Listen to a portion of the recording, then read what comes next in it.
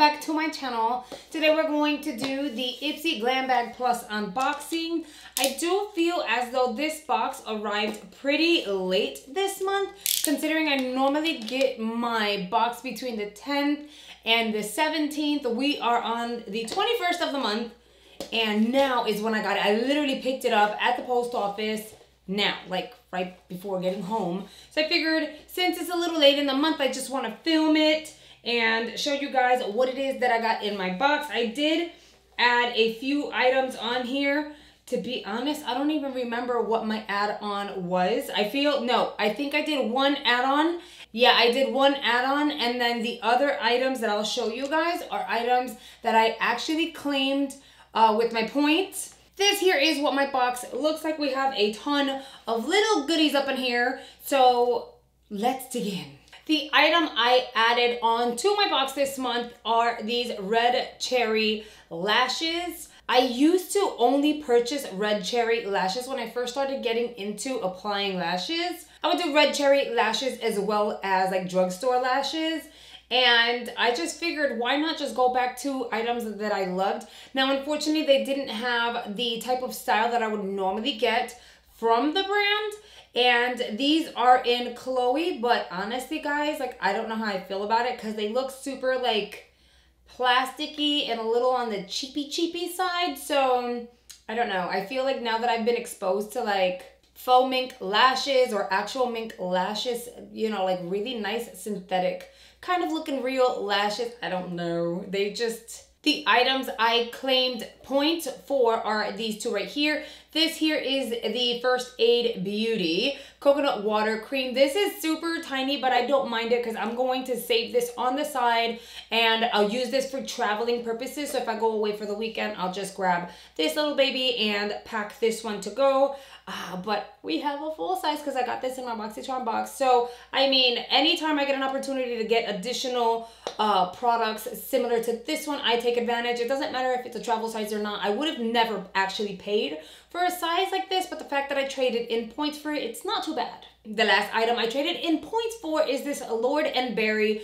strobing pencil. This is in 1153. I thought, you know, it does have like a highlight effect, so it's supposed to help you kind of give your, uh, wherever you're to apply it really, a strobing effect. So I would use it over on my brow bone. I would also use it on the inner uh, corner of my eyes. So I figured, I mean, I honestly thought, once again, I thought this would be a little bigger, but I can't complain because I used points to actually get this product. So it's a nice way to expose myself to new products and I've never tried this actual item before. So this is gonna be something fun to play around with. Now let's get into the actual items that were sent to me in the subscription service. The first one is Il Makiage, Makiage. Il Makiage. I hope I'm saying it right. Il Makiage. This is the high volume and intense curl mascara in Icon. This is black. And uh, for me, mascaras, a huge deal would be what the wand looks like. I know Smashbox has a mascara with very similar packaging and this is what the wand looks like over here. It is more of a plasticky type of wand, either plastic or rubber. I'm not sure. We'll, we'll use this today. Not sure how I feel about it though.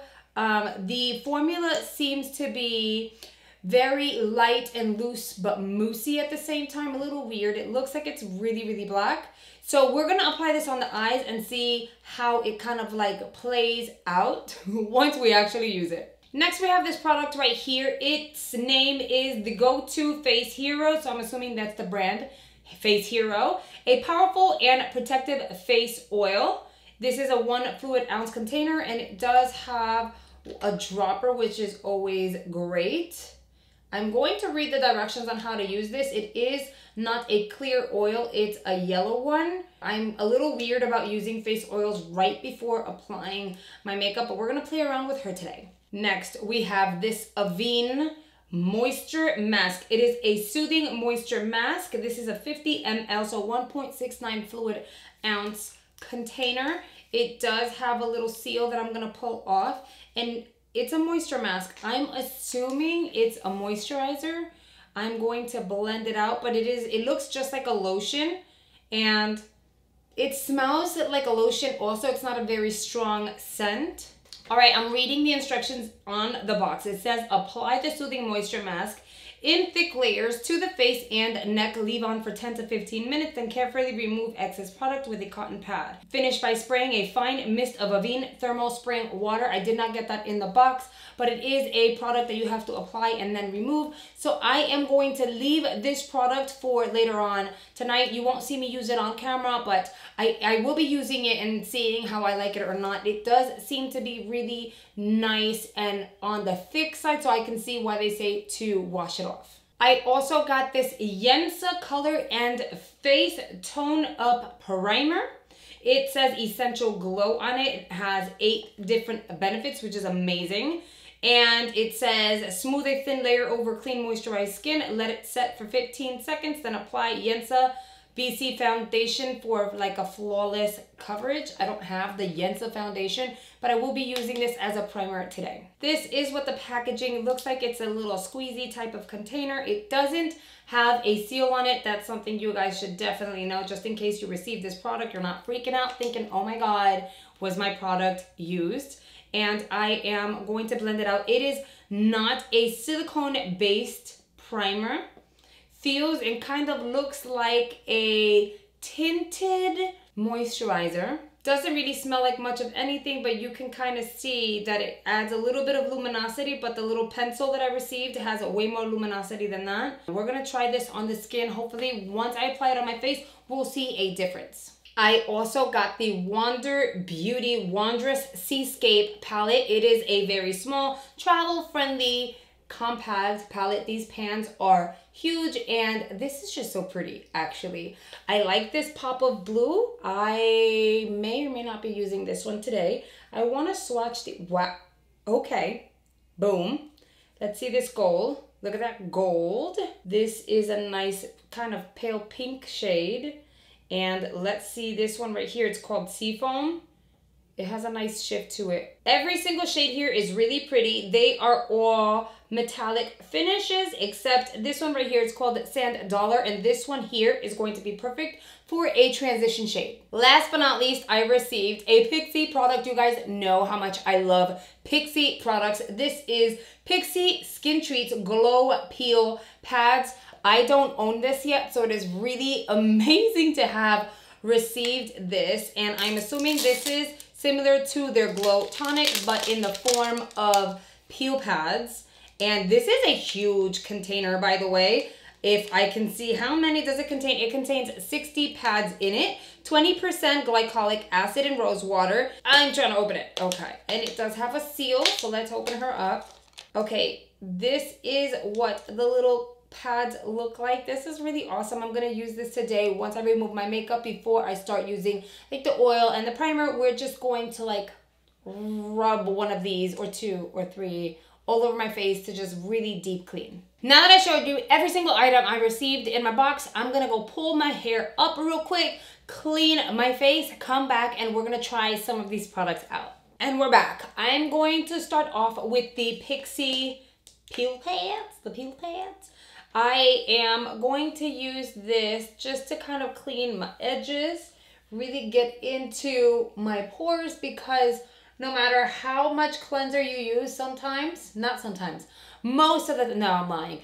Every single time you'll see that there's makeup that was left behind. And I don't know if you guys can see that, but it's kind of gross. I know. And I use a rag to remove my cleanser and my makeup, but the skin is like a sponge. It absorbs.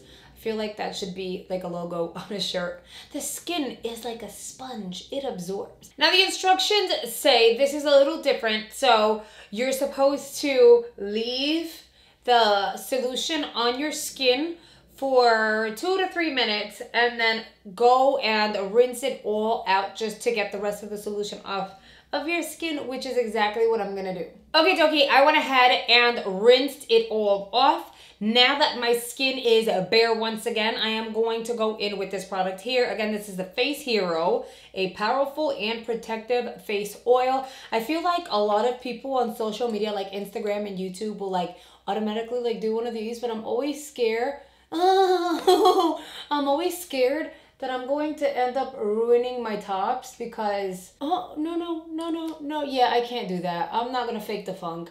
I'm always afraid that it, like solutions are gonna drip onto my clothing and then damage them, like oils especially, like really damage my tops and stuff. My skin is really looking hydrated and glowy. So I'm gonna move on to the next product, which is the Yensa primer. I don't think I need any more glow. Then again, I don't feel like this really gave too much of a glow to the back of my hand. I do like the idea of it being a primer and it is not a flat white. It is more of like a cream, like a light cream shade. I think I used way too much primer, but I always go a little like ham. So hopefully this is gonna work out and my makeup comes out good because if not, it's on me.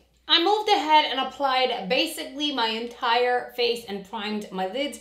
I noticed that the primer almost makes my foundation look lighter than it's supposed to, which is why I needed to balance it out a little bit and add more bronzer. I found that a little weird because I've used that foundation with nothing else on top just to cover up some dark spots or some hyperpigmentation that I was experiencing and I never needed to go above and beyond to bronze because it was literally my exact shade. So I was just like, why do I look so freaking pale? So I really had to go in and bronze. So I'm gonna try the primer once again with other foundations to see. But so far, I was just like, why? Like I said, I did prime my lid, so we're gonna move on and use this beautiful palette. I am going to use Sand Dollar, which is a neutral kind of cream shade. And we're gonna apply that all over the crease and we're gonna blend that out. And then I wanna try this blue shade so bad. So I'm going to dive in with an eyeshadow brush. All right. Wander Beauty, you're doing your thing with this eyeshadow formula because Look at that pigment. Now we can continue to build color. I'm gonna go back in with the original brush that I used for my crease, no additional product. I'm going to blend the edge out because I want the blue to transition very gracefully along with the beige color that we used. And because we lost a little bit of the vibrance of the blue, I am going to just tap some more of the blue on the bottom portion of the eye. I am not touching that crease, girl, because I've been blending for a good minute and it is so graceful right now. I'm not, I'm not trying to ruin it. I used the brush on this golden shade called Golden Wreath to see how it would transition from the brush to the back of my hand. And this metallic foil is just so pressed. Even though it looks amazing on the finger, I feel like it's going to apply a lot better on the lid if I use my fingers, which is what we're going to do because with the brush, I didn't really get much pigment on the brush. Like, so if I'm honest. So we are just going to tap that shade directly on the middle portion of the eye. I'm gonna use my pinky to kind of blend that out. So far so good. I want to use another shade on the lower area of my eye. I feel like I'm just gonna go in with the blue. I'm going to use this Farrah brush and I'm just going to smoke out the bottom portion of the eye just a little bit. I feel like any other shade that I use won't help it really tie together the way I want to. So we're just gonna use the blue.